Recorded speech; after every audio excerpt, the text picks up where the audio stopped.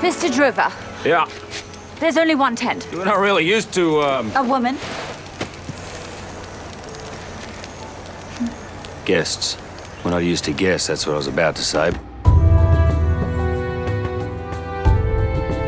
I could show you a thing or two about horses. Well, this should be interesting.